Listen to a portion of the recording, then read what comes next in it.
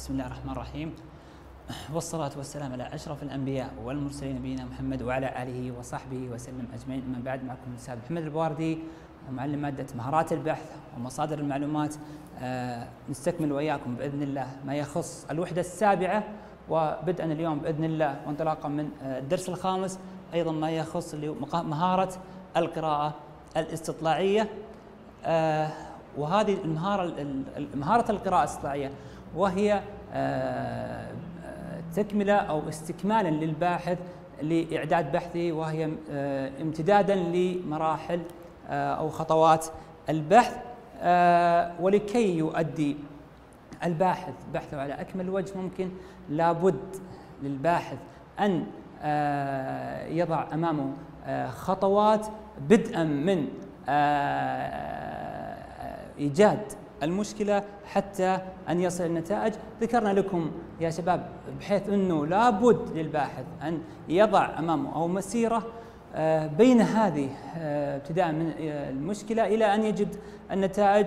لابد الخطوات بدءا طبعا بدينا بالخطوات منذ أن يضع لابد للباحث لو استرجعنا قليل الخلف لابد أن الباحث أن يبدأ من اختيار أو بانطلاق للبحث آه، لو أردنا مجالات آه، البحث وارتباطها مثلا مع آه، مناهج البحث العلمي ذكرنا لكم يا شباب سابقا أنه لا يستطيع الباحث بأن يبدأ باختيار أحد أنواع مناهج البحث إلا بارتباطه مع أنواع اللي هي مجالات البحث. من ضمنها ذكرنا لكم من لو يذكر لي أحد منكم يا شباب اللي آه، مجالات البحث العلمي هل هي آه، من ضمن المجالات هل هي آه، الأدوات أو الاستبانة؟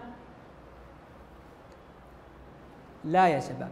المجالات هي من إيجاد بحث المشكلات بحيث انه يجد مشكلة أيضا. بحيث إنه يبحث في مثلا البحوث النقدية أو مثلا في بحوث الحقائق.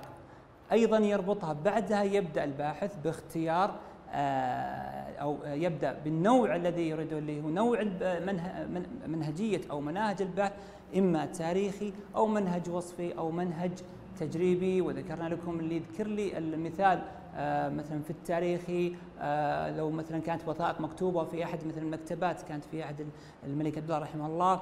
أيضا كان مثلا لو كانت مشكلة مثلا في منهج وصفي أو مثلا في منهج التجريبي بحيث إنك آه، تجري تجربه هذا الآن بدءا آه، لا تستطيع أنت كباحث أنك أنت تقدم بحثك بأكمل وجه آه، حتى تصل إلى المعلومة ولكي تسهل للقارئ الذي يريد أن يقرأ بحثك بان يستنتج أو يعرف ماذا يريد الباحث أن يصل إليه سواء أنت في حل تحديد مشكلة مشكلة بحثك أو سواء في اختيارك حتى الآن في أنواع المناهج.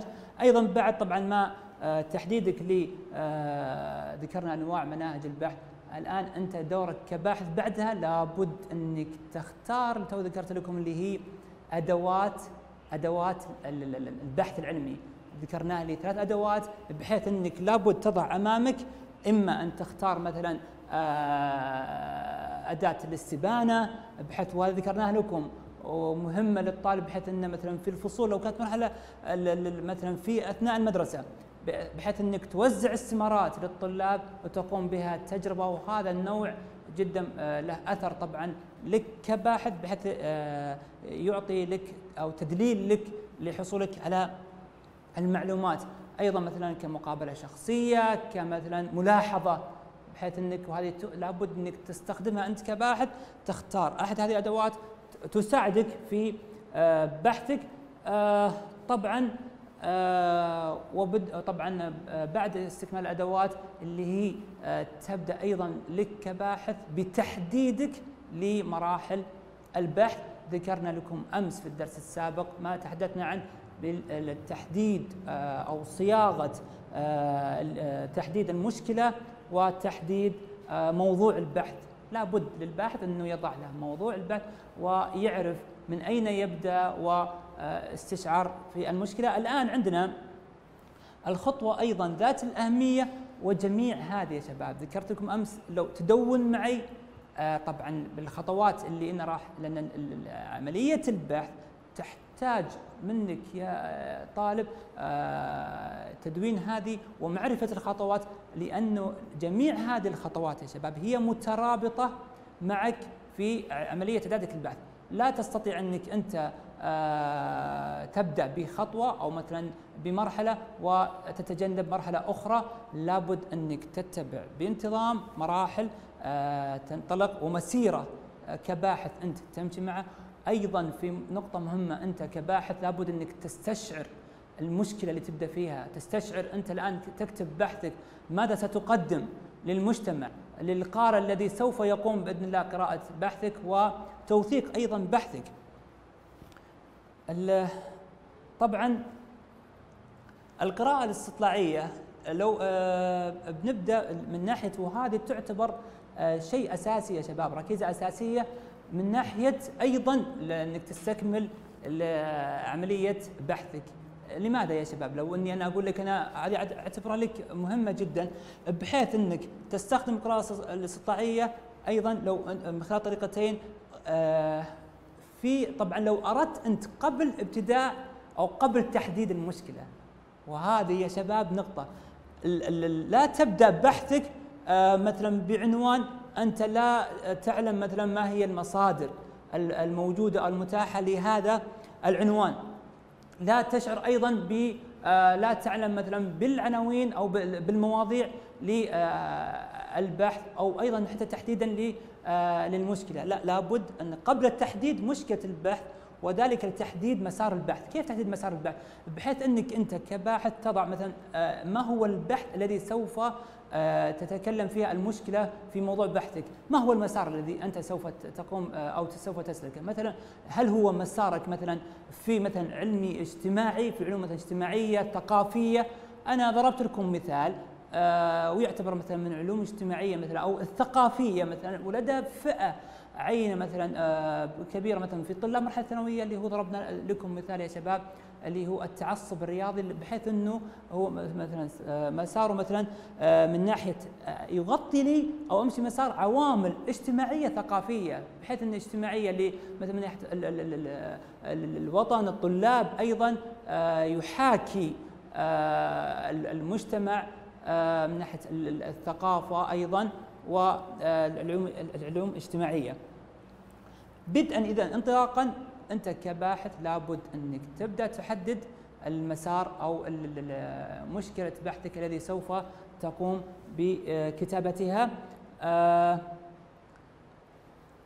طبعا لابد بحيث انه لابد العنوان أو موضوعي أنا آه، الخطوات أو الكتابه اللي أنا سوف اتطرق لها الجوانب لابد أن تكون قوية آه، بحيث إني أنا أبدأ أستكشف ماذا أريد أن أكتب لأجله. طيب نشوف طبعا أيضا عندنا بعد تحديد مشكلة البحث وذلك لمعرفة الأدبيات التي كتبت عن مشكله مشكلة البحث. وهذا ماذا ماذا ماذا يعني يا شباب؟ النقطة هذه اللي هي من ناحية بعد تحديد مشكلة أيضا البحث وذلك لمعرفة الأدبيات التي كتبت عن مشكلة البحث أحد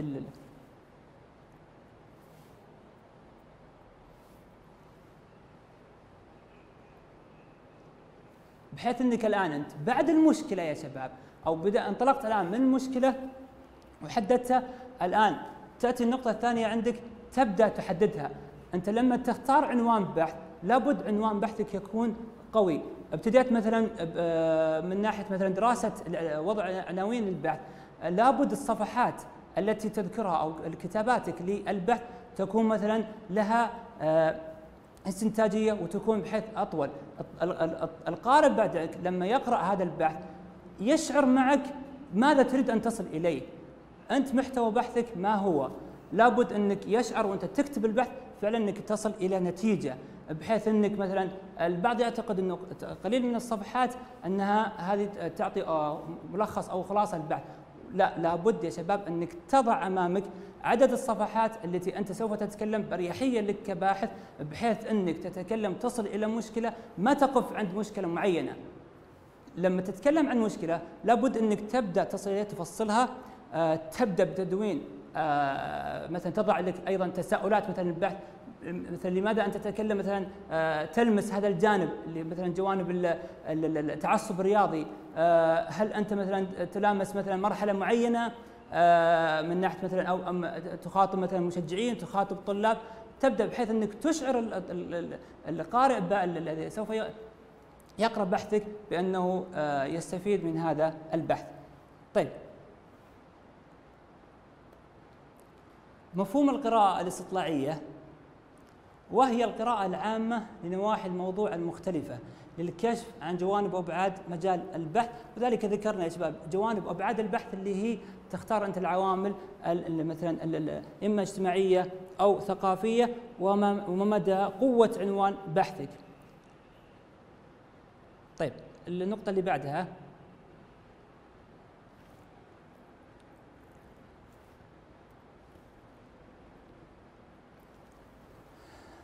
تبدأ الآن انت كباحث بصياغة مشكله البحث ووضعها في إطارها الصحيح وتحديد أبعادها من ناحية طبعا ما ذكرنا آه، انطلقت أنت في تحديد عنوان آه، أو مشكلة البحث الذي سوف يتم الباحث باختيارها. الأهمية الثانية معرفة سمة الموضوع وجوانبه المختلفة. وش الجوانب اللي أنت تتطرق فيها؟ ما هي الجوانب الباحث التي تتطرق إليها؟ طبعا لابد أنت كباحث لم آه، عند تطرق لموضوعك للبحث تبدأ من العام حتى تدرج إلى الخاص بحيث إنك الآن تبدأ أنت كباحث تبدأ بعنوان بحثك مثلا من العام حتى تندرج آه، تدرج إلى الخاص بحيث تتعمق حتى تتعمق إلى آه، أقل دقة أو دقة عالية من أو ماذا تريد من بحثك. ننتقل استكمال الجوانب التي آه، وقفت عندها الدراسات السابقة. في دراسات يا شباب في آه، في من المؤلفين أو من الباحثين من لهم من لهم طبعا أبحاث السابقه لابد أنك أنت كباحث تستفيد من هذه أو تدرس هذه آه، الدراسات أو المواضيع الخاصة آه، بحيث أنك أنت أحيانا أنت آه، ذكرت لكم قبل قليل أنك أنت دراسات سابقة تستكمل أو تقرأ ماذا تريد الباحث. أحيانا أنت مثلا تستطلع مثلا في نقطة معينة مثلا قد الباحث أه بضرب لكم مثال اللي هو ذكرناه مثلا في أه التعصب الرياضي. أحيانا مثلا الدراسات السابقة وش أهميتها؟ أنا مثلا كباحث أجي أنا أطلع على البحث القديم، أطلع مثلا على عنوان مثلا اللي هو التعصب الرياضي. آه، أستفيد آه، أطلع على هذا الموضوع. آه، أبدأ مثلا بقراءته. أجد مثلا الباحث فعلا في بدايه بحثه مغطي في الجوانب لكن أبدأ أطلع وأبدأ القراءة بحيث إني حتى أصل أحيانا أستفيد مثلا قد الباحث آه وهذه النقطة يا شباب لابد أنك أنت تستوعب هذه النقطة من ناحية اللي هي الدراسات السابقة، أحيانا يا شباب الباحث لابد أن مثلا في الدراسات السابقة تجد له ثغرة أو مثلا وقفة عند مثلا آه نقطة لم يستكملها. أنت الآن مهمتك ماذا؟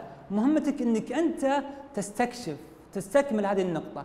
أحيانا مثلا قد آه، يتكلم عن نقطة التعصب الرياضي. تبدأ أنت مثلا من ناحية غطاها هذا الباحث من مثلا ناحية الجوانب مثلا الإعلاميين مثلا جوانب مثلا المشجعين. ابدأ مثلا بفئة الطلاب. آه، تبدأ أنت تطلع تطلع. مثلا الطالب الباحث وقف عن مثلا نقطة مثلا لو ذكرنا مثلا في الجرائم اللي مثلا الجنائية في مثلا قد تصف التعصب الرياضي. الباحث هذه في الدراسات السابقة لم يتطرق أو لم يتعمق إلى النقطة أو النقطة هذه فتبدأ أنت كباحث الآن وباستخدامك. الدراسات السابقة تستفيد من هذه الجزئية حتى أنك أنت تستطيع تستفيد منها. قد كباحث يستفيد مثلا من نقطة مثلا ضربت لكم مثال هذه آه، الباحث آه، آه، مثلا تكلم عن نقطة الجرائم ولم يفصل فيها. مثلا نقطة قد يقول مثلا إنه في قد مما تسبب في جرائم جنائية وقف عندها. أنت أيضا لو كان عنوان بحثك غير التعصب الرياضي قد تستفيد من هذه تبدأ تتعمق تبدأ تستكشف تبدأ تبحث عن نعم الجنائيه هل آه، مثلا في جرائم جنائية تصبح مثلا بسبب التعصب الرياضي؟ هل تبدأ تضع تساؤلات حتى يستشعر معك القارئ انه فعلا أنت الآن تجد إلى مشكلة؟ اختيار عنوان مناسب لموضوع البحث. من أيضا فوائد القراءة الاستطلاعية إني أنا كباحث أيضا تفيدك في إنك أنت لابد إنك بالبداية تختار عنوان المناسب لموضوع البحث طبعا العنوان الرئيسي أنا لابد إني أنا كباحث آه، من خلال القراءه هي اللي تفيدني إني أنا آه، أبدأ ب آه، أبدأ مثلا بما هو الموضوع الذي أنا سوف أتحدث عنه؟ وهل مثلا ذكر بعد قليل اللي مثلا من ناحية المصادر المراجع هذه طبعا مترابطة مع القراءة الاستطلاعية. لابد أن يكون عنواني مناسب ملامس للمجتمع ذو فائدة حيث يصل بإذن الله يعني لنتيجة أو لحل آه، تلامس مثلا ظاهرة معينة أو مثلا آه، فئة معينة. التعرف على أهم مصادر الموضوع والمراجع المناسبة آه، لابد أنا إذا جيت أبحث لابد أني أنا أعرف هل مثلا هذا العنوان أو هذا الموضوع له مراجع؟ لابد. قد الباحث يقول أنا والله بتكلم عن نقطة معينة لكن يكتشف أنه لا يوجد له مراجع بكثرة. ف يجد نفسه أنه في صعوبة لاستكمال بحثه. لكن لو ضربنا العنوان الذي آه، نتحدث عنه دائما اللي هو التعصب الرياضي آه، كباحث آه، يجد دراسات سابقة بكثرة من هو تحدث عن هذا العنوان بحيث يسهل له يبدأ هو يجد المراجع يجد المصادر يبدأ باستكشاف فعلا آه، يبحث سواء كانت المراجع الالكترونيه أو مصادر إلكترونية أو كانت لابد استخدام مثلا مصادر آه، أيضا المطبوعة. فيبدأ هذا تسهل عليه عملية البحث. لماذا؟ آه، وجد من ناحية القراءة الاستطلاعيه وجد مصادر ومراجع أيضا بكثرة مناسبه لهذا الموضوع طيب نأتي الآن يا شباب للمصادر المساعدة في القراءة الاستطلاعية. الثقافة العامة وخبرات الباحث الشخصية والتخصصية. ما ما المقصود بها؟ الثقافة العامة وخبرات الباحث الشخصية والتخصصية. سهلة تحتاج بس تفكير شوي. نعم مثقف طبعا الآن هذه تعتمد أو ترجع لمن؟ الثقافة العامة ترجع لمن؟ ترجع يا شباب للباحث أنت لك أنت آه، لابد أن تكون لديك الخبرة آه، أو مثلا يكون لديك إلمام عن الموضوع الذي سوف تتحدث عنه آه، لابد أن تكون مطلع حتى يسهل إليك أيضا إضافة مثلا معلومات حتى حتى تتمكن من إتمام عملية البحث، اذا لابد للثقافة العامة وخبرات الباحث الشخصية والتخصصية. طيب. الآن لاحظ الترابط بينهم. أيضا من ناحية ما يخص القراءة الاستطلاعية بعد إلمامك أنت واستعانة بك أنت في إعداد عملية بحثك لابد عندنا وهذه جزئية مهمة لابد الباحث يا شباب أنه ماذا؟ سؤال أهل الاختصاص والعلم والمهتمين لابد أنت كباحث آه، تستعين بمثلا أيضا أهل الاختصاص. مثلا زميل لك مثلا في نفس البيئة أو في العمل تستطيع أنك أنت عنده خبرة في التخصص الذي أنت سوف تتحدث عنه. في البحث تستطيع أنك تستفيد منه من بعض الأسئلة ويفيدك منها. إذا هذه سؤال أهل الاختصاص والعلم والمهتمين.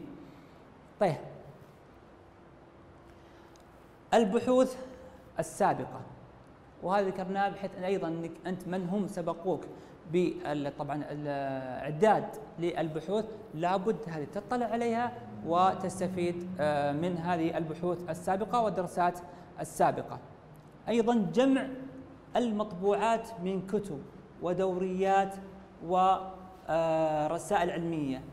هذه أيضا يا شباب لابد أني أنا كباحث أيضا أستعين بالمصادر مثلا لجمع جميع مثلا ما يخص المطبوعات سواء كانت كتب أو دوريات آه، بجميع أشكالها. الدوريات ذكرنا لكم هي كل مطبوع يصدر على فترات منتظمة مثل مثلا المجلات آه، في مجالات علمية مثلا وهذه أيضا آه، في مجالات تصدر بكثرة مثلا لو استخدمت أحد مثلا المكتبات مثلا الجامعية أيضا تستطيع تستفيد في إصدار بعض الدوريات.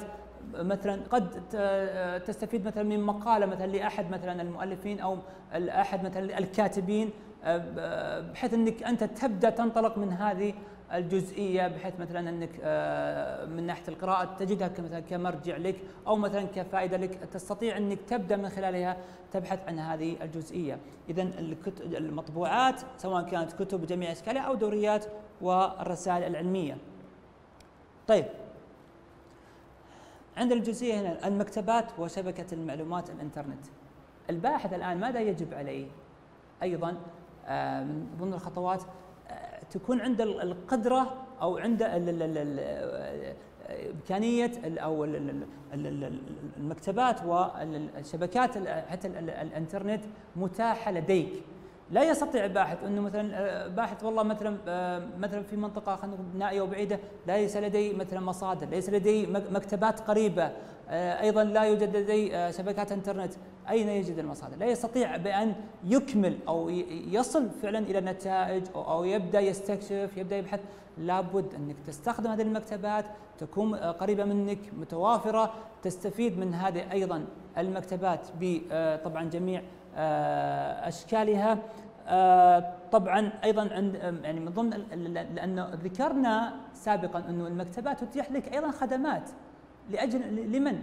الخدمات هذه متاحة للباحثين من اراد من ناحية الإحاطة الجارية آه، البث انتقال المعلومات مثلا إذا أنت كان آه، تبغى تستفيد مثلا تخصص في مجال معين في تخصص معين بحيث إنه يرسل لك مثلا أنت مثلا مجال بحثك مثلا في الجغرافيا التاريخ حيث يرسل لك بالكتب التي وصلت حديثا أيضا بالكتب الإحاطة الجارية أيضا بحيث إنك تستفيد منها جميع هذه المقومات آه، تفيدك وتعينك على أنك تجد آه، أو تصل أو آه، تحصل على المصادر بسهولة. مجملا كلامنا يا شباب ملخصا وتلخيصا لما تحدثنا ما يخص عن المهارة القراءة الاستطلاعية آه، بحيث انها وهي القراءة العامة لنواحي الموضوع المختلفة. أيضا للكشف عن جوانب وابعاد مجال بحث. مجال بحثك ماذا؟ هل هو مجال ذكرنا لكم موضوعي اجتماعي. أنت ما هو مجال عنوان بحثك أو موضوع بحثك؟ ما هو مجاله؟ ماذا تتحدث تتحدث عن لابد انك تحدده تختاره أو توضحه تبين أيضا لديك في مثلا في كتابة بحثك. المصادر المساعدة في القراءة الاستطلاعيه ذكرنا الثقافة العامة ذكرنا أيضا لابد آه، الباحث ماذا يا شباب؟ لابد ماذا يا شباب؟ الباحث خليني أرجع عنها الجزئية اللي مصادر المساعدة اللي تساعدك في القراءة الاستطلاعيه لابد الباحث يكون تكون لديه الخبرة ثقافه نعم فعلا تكون لديه الثقافة العامة وخبرات الباحث الشخصية والتخصصية بحيث إنه يكون الموضوع الموضوع الذي هو سوف يتحدث آه، ملم مطلع ويعرف ماذا سوف آه، يتحدث أو ماذا سوف يقوم بعملية البحث. أيضا يستعين بأهل الاختصاص وتستفيد منهم تأتي مثلا بطرح أسئلة بطرح مثلا آه، قد يفيدك مثلا بمعلومة آه، تبدأ أنت بدراستها. طيب أيضا البحوث السابقة آه، وهي تعني الدراسات السابقة من سبقوك من من قاموا بإعداد البحث. أيضا جمع المطبوعات من كتب ودوريات ورسائل علمية. وهذه ذكرناها بحيث أنك أنت تستفيد من هذه المصادر أو هذه المراجع سواء كانت المطبوعة أيضا أو الإلكترونية سواء كانت آه، بأشكالها اللي هي الدوريات أو آه، مثلا كانت كتب بجميع أشكالها. طبعا المكتبات وشبكة المعلومات ذكرناها وأتمنى إن شاء الله نكون قد وفقنا بإيصال معلومه لكم هذا وصلى الله وسلم على نبينا محمد وعلى آله وصحبه وسلم أجمعين.